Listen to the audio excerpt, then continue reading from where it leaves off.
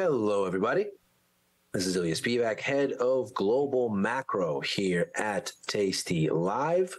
Welcome to the show. We are going to uh, do something a little bit special on this very risk off day in markets. Um, I promise uh, I did not kick the markets over all by myself. I had this plan to talk about what we're going to talk about today. Um, going into the consternation uh, and um, was thinking about it yesterday. But what a perfect day uh, to be talking about um, this. Uh, we are going to be focused on the Australian dollar. And what we're going to talk about is not just the Australian dollar, the currency, although we'll certainly do that. Um, and not just as a tradable asset unto itself. We'll certainly do that. We're going to be talking about Likewise, the Australian dollar as an indicator and as an indicator of global recession, of global economic downturn. So let's break it down here. We have a little bit of Australian economic data to give us context, but it'll be the broader relationships that will be key here and what they say about recession risk. So let's start. The first thing uh, that we look at here, um, this is um, the Australian dollar against um, the US dollar, 6A futures. You can see here a number of touch points that I've outlined that really ought to have been supportive and were not. So, what you're looking at is really uh, since early 2021, the Australian dollar very clearly trending lower against USD. And doing so seemingly in spite of compelling reasons to be going the other way. So in May, we can see that there is the start of the RBA rate hike cycle. Now, of course, the Fed is already on the move uh, delivering its own rate hike cycle. So perhaps there is something there um, in terms of relative vigor. Um, and maybe that's why we get further weakness. Um, let's excuse that momentarily. In December, China reopens after zero COVID restrictions. We had a bit of a recovery going into it. The actual announcement seemingly did next to nothing. The trend unchanged. The SVB led banking crisis was very negative for the US dollar in most pockets, not so much for the Australian dollar, though. And so we have seemingly this down move that is impervious to local news. And seemingly just wants to go where it wants to go.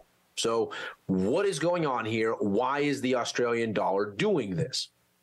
Well, let's consider uh, what we are seeing here alongside other influences. So, you can see that from about the beginning of 2022, so early last year, you have an increasingly close relationship between the Australian dollar and the Bloomberg Commodity Index industrial metals sub uh, gauge. So what we're looking at here in the dark line is essentially uh, the industrial metals complex um, benchmarked. So copper, zinc, uh, iron ore, steel, that kind of thing.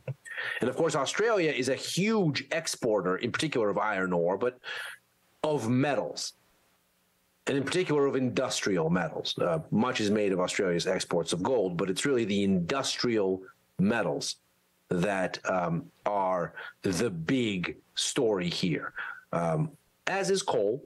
Uh, coal is another big one, but it's really the industrial metals that dominate. And what we see here is these things weren't moving very closely going into the start of last year and have increasingly coupled. Um, and so there is seemingly an increased sensitivity to global input demand from the, the, Australian dollar. In other words, as you get a decline in the industrial metals from early 2022, so too you have a decline in the Aussie dollar, ostensibly because with the decline of industrial metals, you have the decline for what is Australia's biggest export sector. And the loss of that demand mean, means the loss of demand for Aussie dollars to buy those exports from Australian producers. Now, why is that occurring? Let's unpack this chart here. The columns are a 60 day percent change correlation. So we're not just correlating the direction of the move up or down, we're correlating the magnitude between that industrial metals index and the Aussie. And what you can see is going into early 2022, that correlation is actually weakening. So you can see the trend is lower on that correlation. And then around March is when that situation starts to change. You break the downtrend and start building higher. Tellingly, of course, this occurs as the probability of US recession starts to build. And of course, what do we know about March of last year? That's where the Fed's rate hike cycle starts. So as the Fed starts to actually lean into rate hikes, not surprisingly, those rate hikes meant to slow growth in an effort to contain inflation, the threat of recession starts to build. And we can see that as we get that threat of recession building, so too we get an increasing sensitivity for the Aussie to what might happen with industrial metals, a cyclical set of commodities. Because, of course, if the US, the world's largest economy, is in recession, that echoes into economic uh, impairment really across the spectrum. The US is the largest single source of global demand.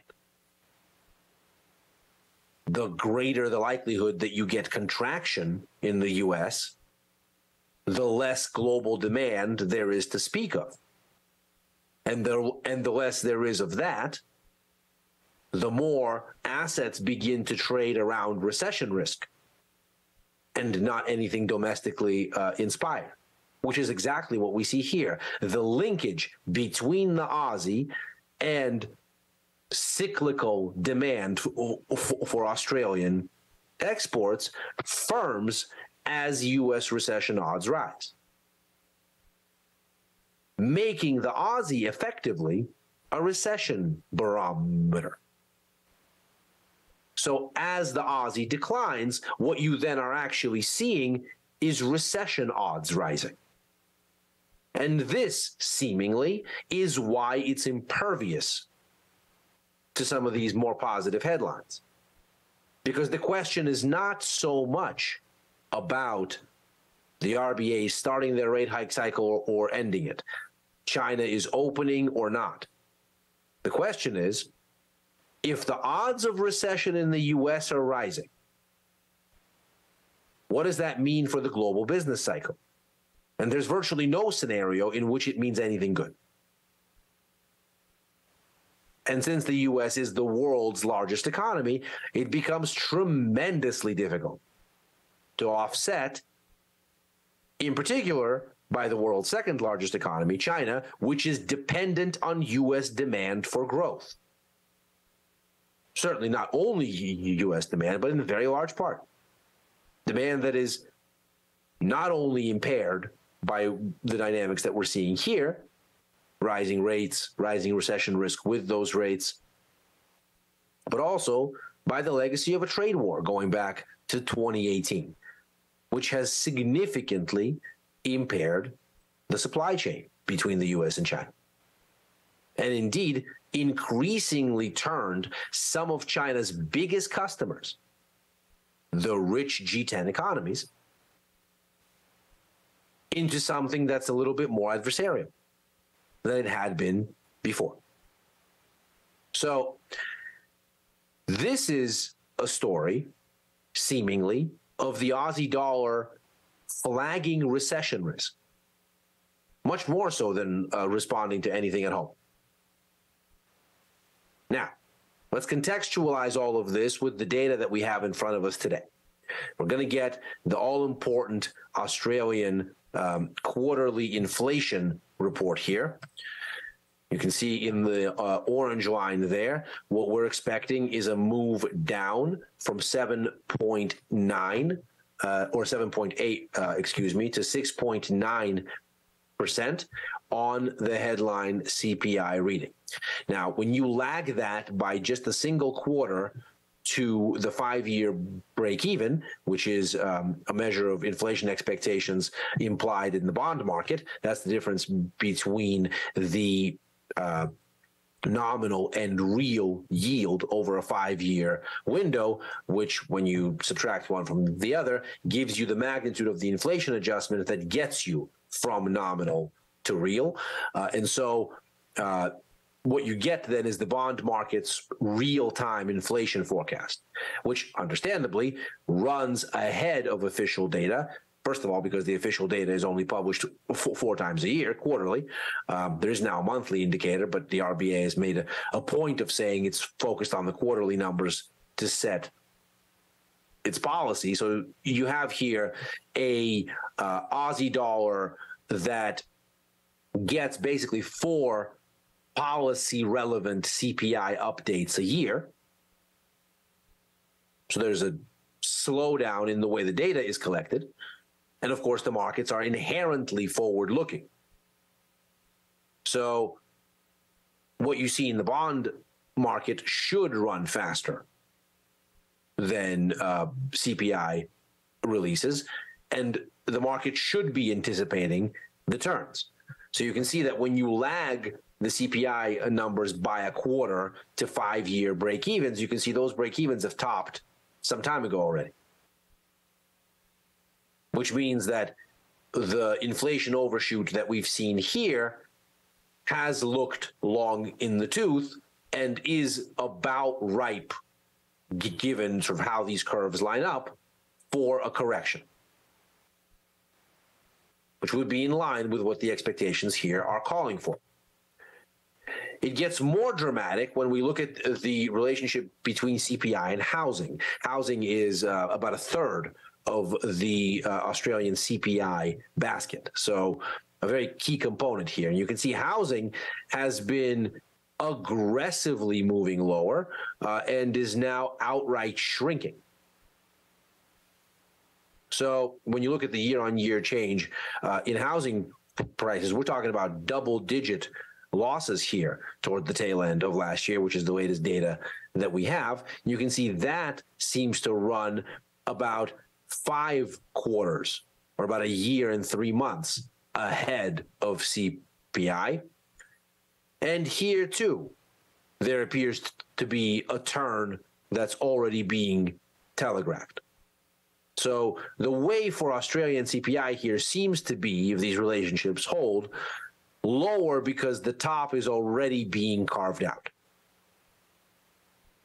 Now, here we have Australia's economic surprise index. This is from Citigroup, and as ever, it measures the gap between realized data outcomes and what the outcomes were expected to be by uh, the sort of collective wisdom of economists, market watchers, analysts, strategists that are polled by the likes of Bloomberg, Reuters, and other data aggregators.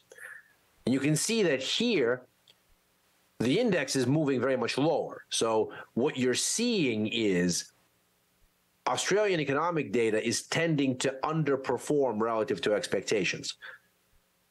The margin has seemingly stabilized a little bit in recent weeks, but we're nevertheless below zero, which means that the tendency for Australian data is to be weaker. The tendency seems to suggest that analysts' models are too rosy still. for the reality that the Australian economy is giving them. Hence the downtrend in the index, which of course raises the specter of a downside surprise. So not only might we get the deceleration that we're looking at here, but we might get a bigger one if we continue to surprise on the downside. In practical terms, what this means is perhaps a shift lower on policy expectations. So you can see here that the yield curve is relatively unchanged uh, from about a week ago. This is uh, the market implied rate curve. You can see we're currently at 3.6. Uh, we're flirting with the possibility of maybe approaching another hike with about an 80% uh, chance, 70, 80% uh, chance by three months' time. So you can see we've priced in uh, a rate of 3.76. That's um, about 16 basis points over where we are now. So 10 basis points, nine basis points uh, shy of uh, of baking in another full hike. So you can see here we drift a little bit upward, but ultimately we do not have another rate hike in the cards here, at least as far as it is baked in. We peak at about 3.7, which is essentially just a hair above where we are now within a year's time. And then there is an aggressive rate cut cycle that shaves about 70 basis points off the main rate and brings us down to three. And that's where we ultimately linger um, for the subsequent uh, sort of three year window. Now, you can see that the curve, the, the solid line there is the current curve. The big dashed one is uh, from the last RBA uh, announcement, which is about a month ago now, and the little dashed line is a week ago. So you can see things are fairly stable from a week uh, ago to now. There hasn't really been a meaningful adjustment. From the last RBA meeting, the setting seems to have become a little bit more hawkish, a little bit more steep. If we get a disappointing CPI number, that would be indicative, perhaps, that this shift in the curve is offsides and needs to shift back in. That would be something that would be ostensibly negative for the Aussie dollar.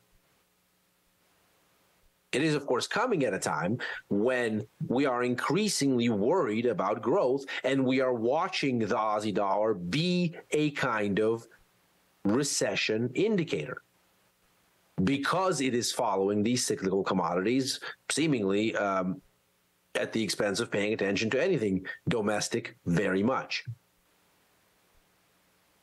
And so here's uh, the 6A future.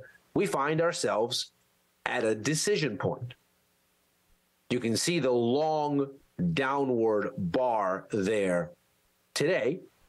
That's this right here. That would be the risk aversion that we're seeing in markets today. Stocks are down, uh, yields are down. We're watching um, a broad based liquidation. Uh, and that's the reflection of that recession barometer risk. Fed rate hike odds are down. And if that were the full story, we might have even expected the Aussie to rally, much as it did uh, as Fed rate hike odds were stabilizing in the back half of last year and going into the first quarter of this year. That would be this rally here. And of course, you'll find this same rally in stock markets. You'll find this same rally in gold. You'll find this same rally across the spectrum of assets that reflect Fed policy expectations and, that are essentially a uh, mirror image of how those expectations evolve. You can see then as U.S. economic data and um, initially U.S. economic data starts getting better in February, and then as the uh, SVB crisis engulfs markets, Fed rate hike odds collapse. But what you actually get is a stronger US dollar. Here. You can see as you get into the beginning of March, this is the, the start of the SVB crisis, things stall, but at no point do you really rally.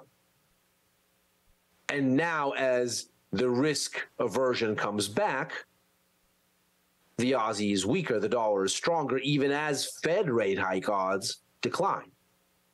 That would be the Aussie behaving as a recession barometer once again.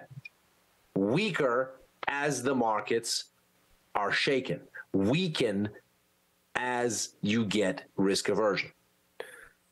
If on top of this, we likewise get a weak CPI number, we may have the fuel we need to break out of this range. That would both signal weakness for uh, the Aussie, even as it wouldn't break any meaningful new ground in domestic uh, conditions. It would signal that recession risk is hitting fever pitch. So if the Aussie were to resume its sell off here, the upshot would be not only that there is a problem in Australia, but that there is a problem for stocks, that there is a, a problem for cyclical commodities, be they copper or crude oil or nat gas, special though that one is, um, for uh, really the spectrum of risky assets, cryptocurrencies, uh, higher yielding currencies like uh, the Canadian dollar or the New Zealand dollar. Uh, it would mean probably a stronger yen because bond yields would be going down in a risk off scenario as capital goes to the safety of bonds, prices go up, yields come down. Certainly, the um, marking down of Fed um, rate cuts to something more sizable against the backdrop of this risk aversion today, helpful in that same yields down, yen up direction. Clearly, it'd be something supportive for the US dollar, as we can see uh, plainly on the screen. And so the Aussie then becomes not just a trade, not just a currency, not just an asset unto itself, but an indicator. So if it has the conviction to break down here, given what its drivers are, we're probably looking at a much bigger risk aversion shift around the broader markets. Line in the sand being tested here at 66.37. Under that is the support zone 68.24 to about 60, um, 68 or uh, 65. Uh, 56, rather. Um, so call it um, plus or minus uh, 65, 50, 60 or so. If you can break that, the next level of support seemingly 63.72. Underneath that, 61.81, the major low from last year. And that is macro money for today. Thank you very much for joining me. As ever, uh, I am here Monday through Thursday, right after overtime with friend of the show, Chris Vecchio, head of futures and forex here at Tasty Live. Also on with Tom and Tony on Sundays for first call, and on with Chris on Fridays for futures power hour. Outside of those shows, I am on uh, Twitter at Ilya Spivak and uh, opining there. Thanks very much for joining. Good luck trading out there. Take care. See you tomorrow.